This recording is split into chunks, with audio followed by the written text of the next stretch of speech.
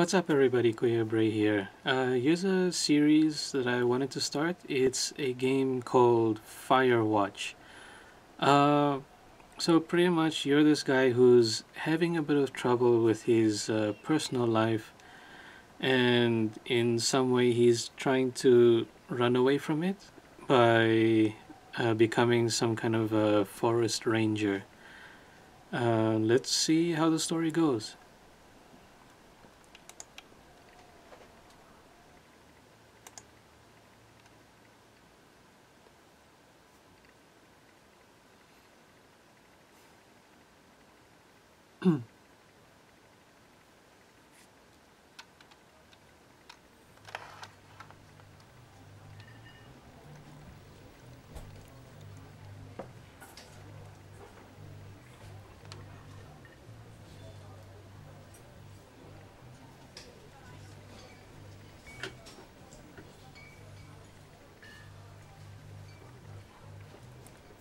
Boulder, Colorado, 1975.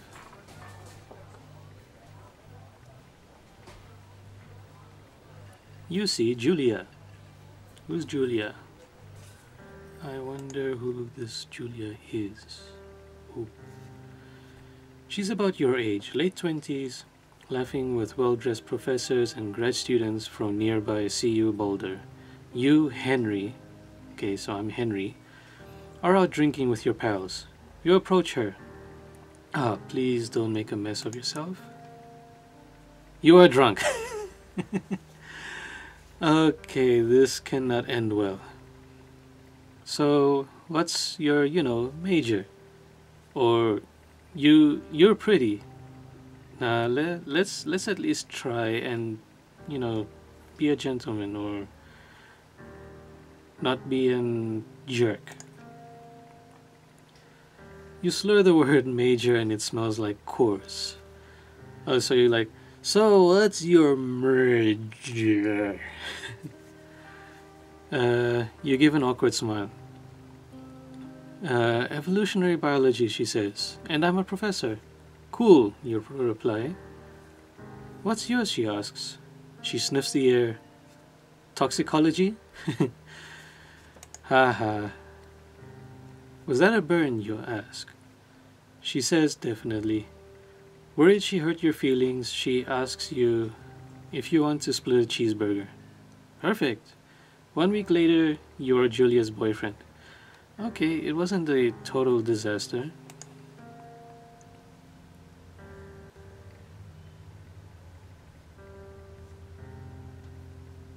Ooh, elevator. Oh, can move around now. Left click to use object. Backpack.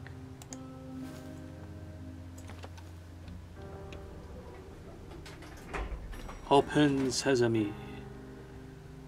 Ooh, what is this place? Ah, just a parking lot.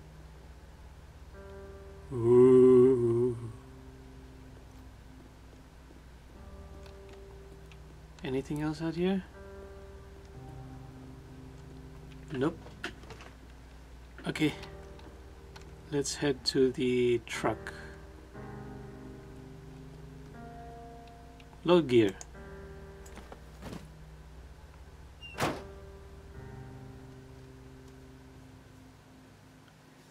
You date for over a year, she drives you absolutely nuts. It's great. You move in, you share an apartment near the school with a view of the mountains. You two drink beers out on the deck.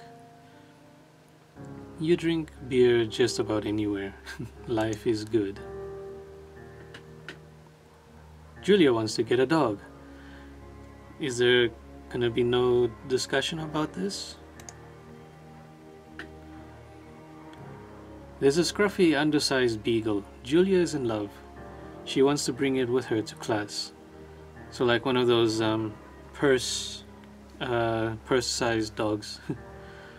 There's also an intimidating but gentle-eyed German Shepherd. Nothing bad could happen to Julia while walking this dog. It's badass.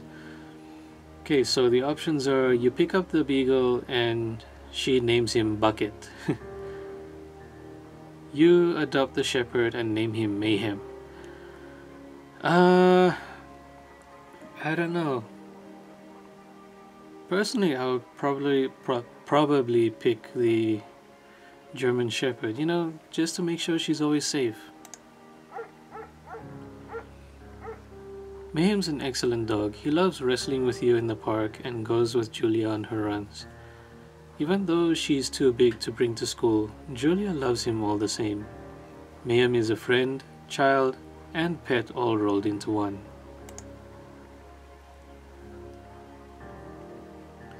Nineteen seventy nine. You talk out on the deck, it's summer nineteen not nineteen it's 9:30 p.m. and the heat still radiates off of the high desert. What do you think about kids? she asks. Whoa, okay. Kids? You're not very smart or good at much. I'm saying if you and I have some a couple little idiots. Uh, that would be pretty good, or one day, why rush? Um, hmm.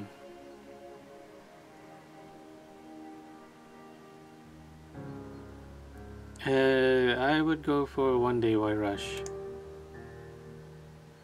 She looks away out towards the mountains. Did, did I do something wrong? Is she upset? We have plenty of time, right? Speak for yourself, mister. Don't worry, you assure her. In time, don't worry. You tell her she has the body of an undergrad.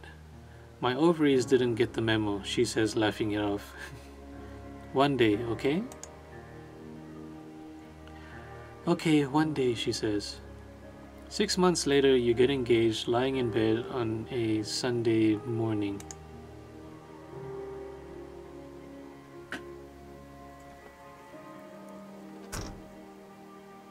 Ooh.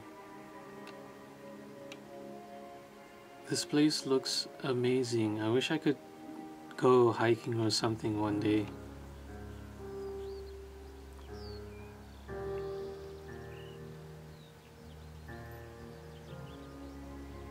Sounds so peaceful here. I wanna go camping. Oh, a hat. Pick up. Let's see, left click to drop, right click to examine, hold E to put on. Okay, examine. Beefy hands. I'm not trying to look at my hands. I want to see the cap. Hmm. Okay, why not? Put it on.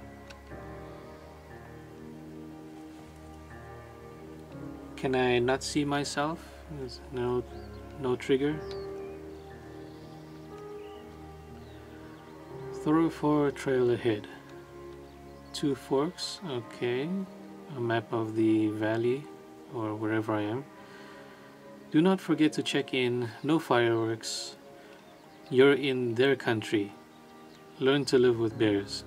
I'll try. Thoroughfare trail is not recommended for inexperienced hikers. Alright. Can I... anything else here? Nope. Oh, ah, it would be so nice to hike in a place like this. Just go for a walk. Ooh. What's going on? 1980. It's a Thursday night and Julia is four hours late. She doesn't call. You're worried and getting angrier by the minute. She walks in after you've gone home. Uh, gone to bed. Ah. She's not quite drunk, but she's clearly been having a fun time. You fight you fight when she gets between the sheets. You get mad or you ignore her? Um I think I would ignore you know, let let things cool off and then discuss things in the morning. You don't touch each other all night. The next day you feel guilty for being so angry and ask her about her evening. Yeah, see? Cool off a bit and then discuss. She says it was great. You hold on to a tiny pill of resentment. You make some coffee and go to work.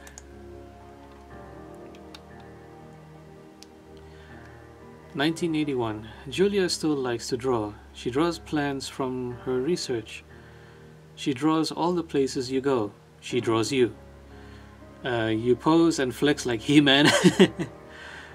or you frolic like a Victoria's Secret model. Uh, come on, show your manly side. You know, He-Man. You look awesome. I wonder what the response would have been if you said uh, Victoria's Secret. Ooh. Oh, is the sun setting?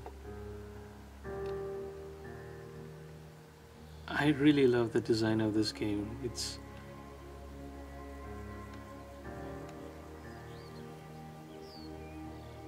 dead tree, another dead tree, more trees, and branches. yeah. Where is this path going? Two forks, fire lookout. Eight miles still. Okay.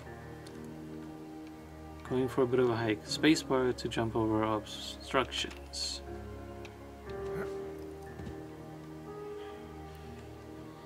Oh, that looks so awesome. 1982. During the summers, you and Julia enjoy walking mayhem at night. Okay, wait, hold up. So, well, what's what's happening? Uh, everything seems fine with his personal life, but when you're actually playing Henry, you're already in the forest. And where's Julia? Okay, I we'll just have to wait and see. There's a festival in town. It brings in folks from faraway places. One of them tries to mug you with a knife. Come on, he be like He-Man. Mayhem runs away. Really? Never mind. I got you for protection and now you just run off like a coward. Uh May, me, moo, fuck, the, the dog. Julia yells. Uh, she gets flustered and has trouble speaking when she's stressed you confront the attacker. Uh, scare him away or you beat his goddamn face in. Um, come on, you're He-Man. Beat him.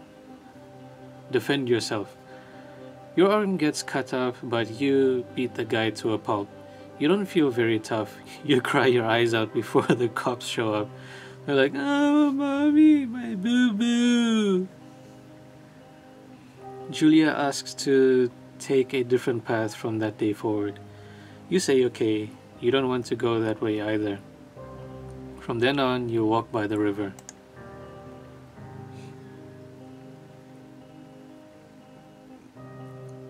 Nineteen eighty four plans to have kids gets waylaid by work. Julia gets offered a job at Yale. Yale is in Connecticut, 2,000 miles away. It's a great job, associate department chair. She wants to move. You absolutely do not. Convince her not to take the job or agree if she commutes back and forth. But either way, both options are a bit, well, quite selfish. Uh, but I really don't want to be such a big douche and say don't take the job. Uh, I'll agree with uh, to for commutes. You ask her if she'll commute back and forth. You don't want to move to Connecticut. She says that'll be hard, but she'll do it for do it if you won't move. You tell her not to pass it up if it's what she wants. Yes, I mean, what if it's a dream job that she's been looking forward to her entire life? She agrees. She flies back to Boulder three times each semester. I guess that's not so bad. 1985. Uh, Julia is sent home from Yale on paid leave after having an episode. She lost it on a colleague for borrowing books that were important to her research. She didn't remember she had happily loaned them to him just two days prior. Is she developing de- developing some kind of like memory loss or amnesia? What what's that other word? Um, that other condition? Uh, I don't know. I'll try and look for it. She was found crying in the stairwell. You say that maybe you guys should talk to someone about it, or you make macaroni and drink wine and try to forget about it. Considering this is, um, you know, something out of the ordinary, I would say talk to someone about it. Uh, go for a checkup. After seeing multiple doctors and having many tests, uh, they are worried that Julia might be suffering from early onset dementia. Yes, that's the word I was looking for dementia. She is 41. You both decide to keep it a secret for now.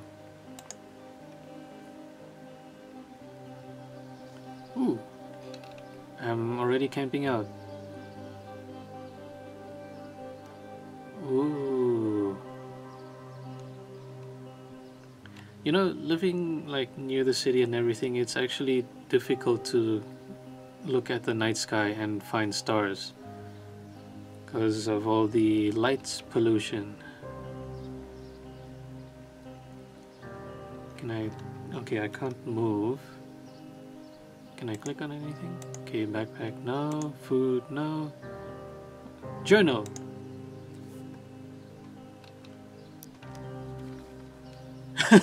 He-Man! Oh, okay, I think I might have to censor that. Mayhem is getting older. He's got silver hair down his back and slows down at night. Okay, so you still have Mayhem, uh, even though he ran away like a coward. You and Julia walk into the bar to see your friends, and it feels like nothing has changed. Julia goes back to the university. 1987. Julia's affliction gets worse. She can't remember things in class. Her research is in shambles.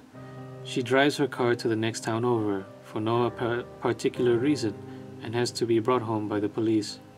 She is devastated. She is sent home on permanent medical leave. That doesn't sound good. Some days you get the Julia who calls you a dope and your unborn children little idiots. Other days you get a stranger. She pulls you into bed to make love. After five minutes, she goes into a panic, believing her dad is at the door. Ah. that doesn't sound good. You tell her family, they are crushed and begin to make trips to and from their home in Australia to visit her. For a while, uh, your friends come by with little things to brighten the day. She gets worse. 1988. You spend your days following Julia around the house. You count the seconds between the two weekly visits from Daniel the nurse. He suggests that Julia could live somewhere else, somewhere with 24 hour care, a home. It sits with you for a couple of months. Okay, so you decide to move her into a full time care facility, or you are determined to take care of her by yourself. Um.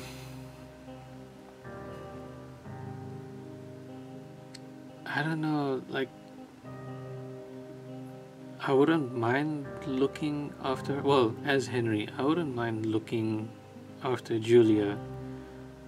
But then I don't have the skills to really, you know, look after her. I guess full-time care facility would be the best option. Oh, I'm awake. Oh no, I'm hiking.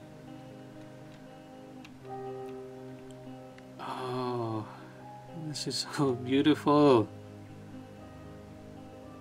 Can I go back?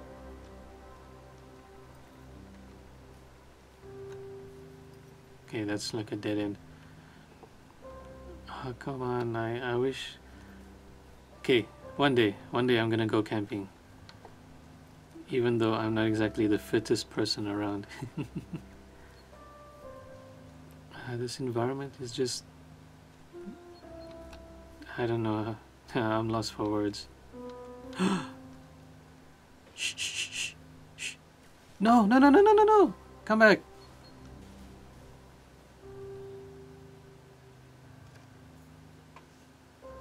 Her family agrees with your decision. You find a fantastic place in Boulder and move her there. You see her every day. Then every other day. That doesn't sound too good. You go out to the bar with your old friends. It's not the same. You get the feeling that every wife tells her husband, if you ever put me in a home like Henry did, I will cut your balls off. uh, you slowly decide to not see your old friends that much. Okay, so this is the point where things are just going downhill. 1989. Uh, Julia's sister Susan moves to Boulder to be close to her. She visits her every day. You go with her some of the time. Susan buys you an old typewriter and urges you to use it if you won't see a therapist. You won't. You've always really liked Susan. Um. Okay. Months go by, Mayhem dies. Oh no! Not the doggy! Julia doesn't remember him when you tell her. Sometimes it takes her a minute to lock in on you. In the back of your mind, you believe it's because you see her less and less. And seeing her less and less makes her forget you more, you think. Summer is coming and you see an ad in the paper for a job. You take it. Okay, so I'm assuming that job is the forest ranger thing.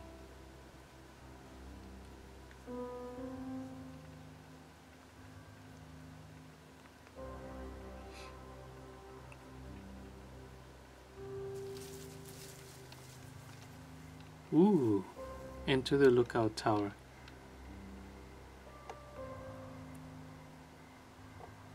It sounds so peaceful.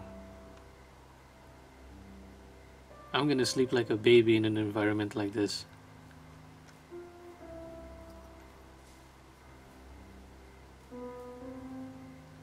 Imagine coming to a place like this and you're like, fresh air. okay, let's go up.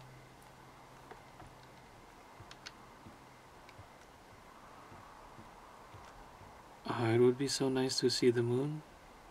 Well, like, I know you can see the moon now, but I mean, like, in a place that doesn't have a lot of artificial lights. Oh, what was that? I had something blinking just now. Oh, there it is again. Thoroughfare lookout. Where? Can't see. Ah, there it is. Up we go.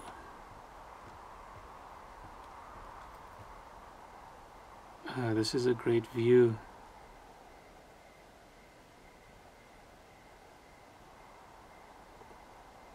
Hello! okay, let's check.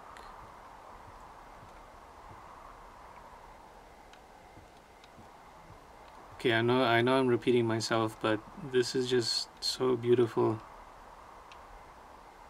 And again, I am gonna try and go camping one day or at least like go for a walk or a hike.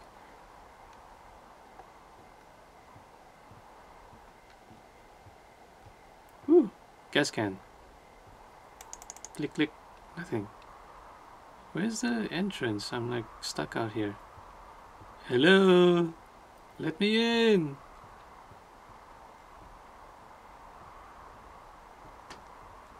Oh there. Oops. Walked right past it Open the door. Turn on the power. No. Need to be closer. Ooh. Hello, Two Forks Tower. Hello? Ah. Two Forks Tower. This is Thoroughfare Tower. Come in.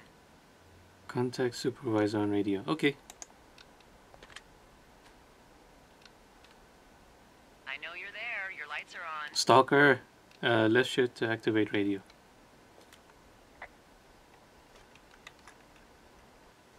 Hello? Um, hello? Whoever this is? It's Henry, right? Yeah. I'm Delilah. Yeah, that's what the guy Hey said. on there, the phone. Delilah. Da, da, da, da, da, da. So, what's wrong with you? Excuse me? People take this job to get away from something. So, what's wrong? What's wrong with you? That's a great idea. Go ahead. Look, I just hiked for two days, so I don't really follow whatever it is you're doing right now. You take a stab at what's wrong with me. Fine, then can I like, sleep forever? Sure, buddy. Okay, now go ahead. Uh, let's see. You killed three X-Men. You're rebelling against mom. Nobody back home can stand you. Ah, let's go with that one. Okay, you're probably out here because nobody back home can stand you. Which, after this brief introduction, is not a big shock. Ouch. Uh, I'll chalk that up to you being tired and grumpy. Well, I'd better Yeah, get some yeah. sleep then. One sec. Now it's my turn. Oh, come on. Okay, Let me thanks, sleep. bye. Let's see. I don't know anything about you, but nine times out of ten, folks out here simply got dumped. Huh, is that it? Close? Good night. Good night. Welcome to the job. Firewatch. Day one. Okay, so we're gonna cut it here for this episode. I hope you guys enjoyed it. I feel like there's a really good story behind all of this, so I want to see this to the end. Uh, so if you like this video, don't forget to give it a like and subscribe if you want to see more. And if you have anything to say, uh, leave a message in the comments down below, and I'll see you in the next episode. Ingat!